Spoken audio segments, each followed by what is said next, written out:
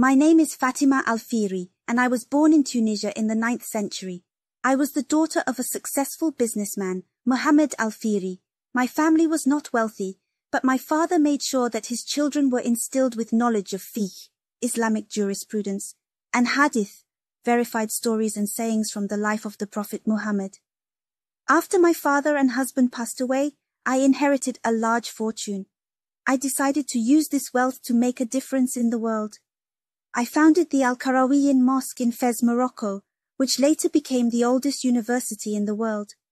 I wanted to create a place where people could come to learn and study, regardless of their background or social status. I am proud to have been a part of the creation of the world's first university, and I hope that my legacy will inspire future generations to continue to push the boundaries of education and knowledge.